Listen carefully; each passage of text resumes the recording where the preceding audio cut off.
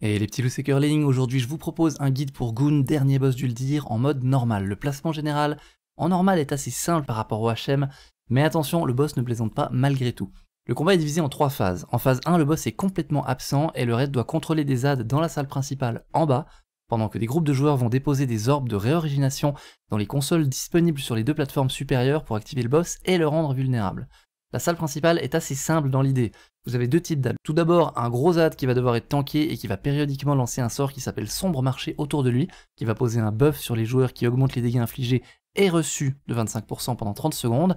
Notez que si vous reprenez le buff une deuxième fois, vous allez être mind control et vous devrez être DPS jusqu'à mi-vie pour être libéré. Donc assurez-vous de ne prendre le sombre marché qu'une seule fois sur deux et de le récupérer après que vous l'ayez perdu. À côté, vous avez tout plein de non dégueulasses qui vont juste spammer tourment qui est une espèce de fouet mental sur des joueurs au hasard. C'est un sort canalisé qui fait de plus en plus de dégâts sur la durée. Ça veut dire qu'en gros, si vous ne coupez pas un des sorts, il y aura probablement un de vos joueurs qui va crever. Donc il faut couper tous ces sorts. Vous pouvez les stun, vous pouvez les kick, donc faites-vous plaisir. Assurez-vous donc d'avoir au moins un joueur sur chacun de ces adds, histoire de couper le sort après au maximum 2-3 ticks. Après ça, ça devient trop dangereux.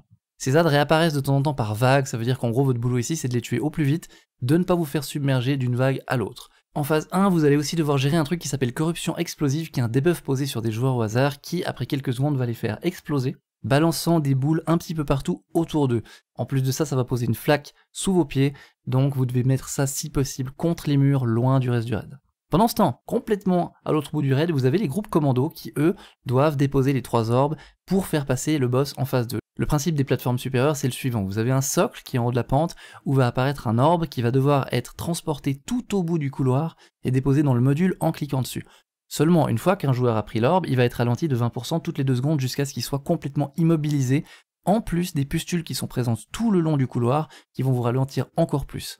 Ce que vous pouvez faire ici, c'est DPS les pustules pour réduire la portée de l'aurora qui ralentit, vous pouvez aussi lancer l'orbe à un autre joueur quand vous êtes immobilisé, histoire que lui la ramasse et continue le trajet. Attention par contre si vous faites ça, si l'orbe touche le sol, il est détruit automatiquement. Hein. C'est pas comme le temple de Cephralis, vous pouvez balancer la boule puis ensuite aller la rechercher autre. L'orbe doit tomber sur un joueur, sinon il est détruit et à ce moment-là on passe au prochain set et celui-là est perdu. La solution par contre qui pour moi est la meilleure, c'est d'utiliser des commandos de choc, des top of the pop, des classes qui peuvent soloter le bordel à elles toutes seules. Vous avez les guerriers, vous avez les moines qui peuvent soloter tout ça, les DH peuvent le faire aussi. Je vais vous montrer ici un exemple en guerrier, mais je vous mettrai en description des vidéos en fait que j'ai trouvé sur le net avec d'autres classes, dont justement moines et DH qui le font, comme ça vous pouvez voir un petit peu comment ça se goupille. Le principe est simple, vous prenez l'orbe, vous cliquez immédiatement sur le portail démoniste et après ça, c'est bon héroïque, charge, charge, on dépose l'orbe et c'est terminé. Si vous êtes du côté droit en tant que guerrier, apparemment il vaut mieux faire charge, charge et ensuite bon héroïque à la fin. Personnellement, j'ai pas testé, mais gardez ça en tête. Le gros avantage, si vous solotez ces orbes comme ça, c'est que ça va super vite. C'est vraiment tout simple. Dès que vous avez validé un orbe, vous avez le suivant qui va apparaître de l'autre côté. Donc vous avez moyen de terminer la phase 1 hyper rapidement si vous avez trois joueurs compétents qui peuvent soloter tout ça. Dans le cas contraire, prenez trois équipes de 2 à 3 joueurs et lancez-vous l'orbe les uns les autres une fois que vous êtes immobilisés.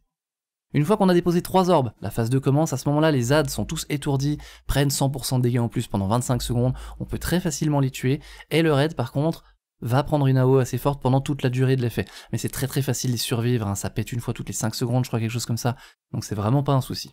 Vous paquez simplement votre raid en attendant que l'effet se passe, après ça le boss émerge et la phase 2 commence. Ici, on conserve corruption explosive de la phase 1, et le boss va ajouter deux mécaniques sur l'air. La première, c'est vague de corruption, une vague qui rayonne autour du boss, qui inflige des dégâts en traversant les joueurs, et qui va leur générer un stack d'un des buffs qui s'appelle Sani, qui est un dot infini qui se stack. Toutes les deux vagues de corruption, vous aurez ensuite besoin de gérer un truc qui s'appelle Festin Sanglant, qui est posé sur un seul joueur, et qui va permettre à tout le raid de supprimer ces stacks de Sani en se tenant près de lui à la fin de la durée. Le seul problème, c'est qu'au moment où ces stacks sont enlevés, vous avez un ad qui va apparaître, et les PV plus les dégâts de cet ad vont dépendre du nombre de Sani qui a été supprimé par le festin. Plus il y en a, plus il a des gros et plus il est dangereux. En soi, honnêtement, en mode normal, on s'en fout complètement. Virez systématiquement tous vos stacks à chaque fois, donc tout le raid se pack sur le joueur qui a le debuff, et une fois que l'ad apparaît, vous le gérez, et puis voilà. Faites juste attention, il va lancer un sort qui contresort tout le raid pendant 3 secondes, donc ami caster, gardez un œil. Pendant la phase 2, vous allez devoir continuer d'envoyer vos commandos pour gérer les orbes et les modules sur les plateformes en haut. En normal, vous pouvez envoyer les mêmes 3 joueurs ou les mêmes 3 équipes à chaque fois, sachant que chaque joueur qui touche un orbe ne peut plus en retoucher un autre pendant 2 minutes, mais entre la phase 1 et la phase 2, il y a largement assez de temps, donc il n'y a pas de problème. Du coup, la stratégie de la phase 2, c'est tout con. Vous paquez votre raid entier sur un des côtés du boss, hein, qui va être tanké tel quel, Vous ne bougez que quand vous avez une corruption explosive pour l'envoyer contre un mur, loin du raid, et ensuite le raid l'esquive. Au moment où 3 orbes ont été déposés, la matrice va de nouveau exploser, étourdir le boss, faire des dégâts au raid, mais aussi faire en sorte que le boss prenne 100% de dégâts en plus pendant 24 secondes, et là, je vous conseille de la jouer bourrin, de claquer héroïsme, de claquer les CD, de claquer les potions, et de détruire le boss et de le faire passer le plus vite possible à 20%, là où la phase 3 commence. Parce qu'en phase 3, vous n'avez plus accès aux plateformes du haut, et vous allez devoir continuer de gérer corruption explosive et vague de corruption, comme en phase 1 et comme en phase 2. En plus de ça, au début de la phase, le boss est insensible aux dégâts et va provoquer trois effondrements au sol, les uns après les autres, qui vous feront des dégâts proportionnels à la distance. Donc éloignez-vous de chacun des trois impacts successifs pour éviter d'en mourir. Vous pouvez de toute façon pas DPS le boss à ce moment-là, donc c'est de la pure survie.